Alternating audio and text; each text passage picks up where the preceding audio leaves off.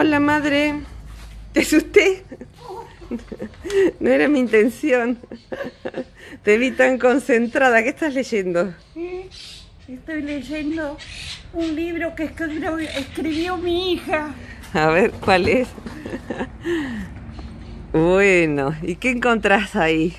Ahora encontré al padre Pepe. A San Francisco, al padre Pepe. Qué hermoso que escribís, Virginia. Qué hermoso. Cuánto estoy aprendiendo, querida hija. Qué linda. Es hermoso, hermoso.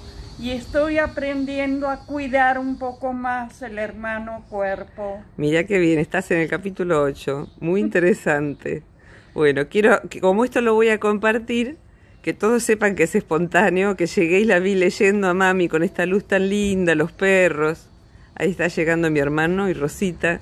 Y bueno, ¿querés decirle algo a tu público que siempre te siguen? A mi público, que traten de vivir lo mejor posible con felicidad, cuidando al hermano cuerpo. Qué bueno, bueno. Una señora de 90 años con 18 operaciones lo dice, pero ahora lo está aprendiendo a cuidar.